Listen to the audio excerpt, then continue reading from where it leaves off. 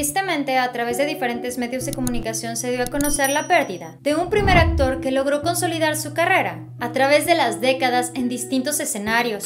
El trabajo que más lo representó fue el estar en las filas de Televisa. El michoacano Javier Ruán actuó en decenas y decenas de películas, telenovelas, teatros, series y hasta novelas radiofónicas. Él fue el malo del cuento en muchísimas producciones, como Simplemente María, Corazón Salvaje, Rina, Ana del Aire, Destilando Amor, Vivan los Niños, Mar de Amor y Senda de Gloria. Fue este día a las 14.30 horas que a los 81 años de edad este primer actor partió de este mundo por un paro al miocardio. Esto lo dio a conocer la cuenta de Twitter de la ANDA, quien a través de un mensaje dio a conocer lo siguiente. La Asociación Nacional de Actores lamenta profundamente el fallecimiento de nuestro compañero Javier Ruán, miembro de nuestro sindicato. Nuestras condolencias a sus familiares y amigos. Descanse en paz. Por su parte, el sistema de teatros de la Ciudad de México, a través de su cuenta oficial de Twitter, envió sus condolencias con el siguiente mensaje. Nos unimos a la pena que embarga a familiares, amigos, compañeros y comunidad artística por el sensible fallecimiento del actor y guionista mexicano, Javier Ruán Jaimes. Con más de 60 años de trayectoria forjó una carrera en teatro, radio, cine y televisión. Que en paz descanse. Con más de 60 años de trayectoria, este primer actor comenzó su carrera con tan solo 17 años de edad.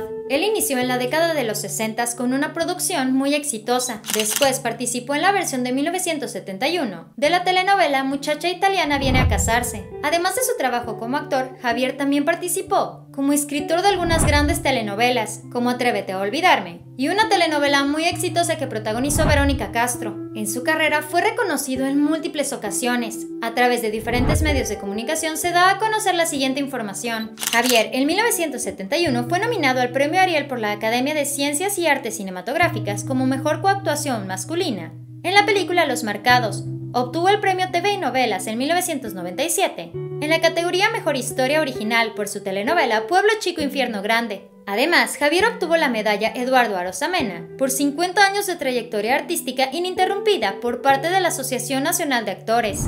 De sus últimas apariciones en la pantalla chica destacan las producciones de La Gata, Corazón Indomable y La que no podía amar. De hecho, uno de los personajes que más se ganó nuestro corazón fue cuando encarnó en los años recientes al malo del cuento Isaías Requena en la telenovela Corona de Lágrimas. Apenas el pasado mes de junio, el histrión dio a conocer a través de su cuenta oficial de Facebook que, por fin, había accedido a la aplicación del medicamento en contra de la enfermedad mundial. Esto en su segunda dosis, a través de una publicación donde adjuntó un par de imágenes. El primer actor comentó, feliz de la vida, celebrando la segunda vacuna en familia finalmente desde la colonia Roma en la Ciudad de México después de tanto encierro. Los abrazo entrañablemente con mis mejores deseos, Javier Ruán. Esto fue Famosos de cerca. Dale like a este video, suscríbete y síguenos en Facebook.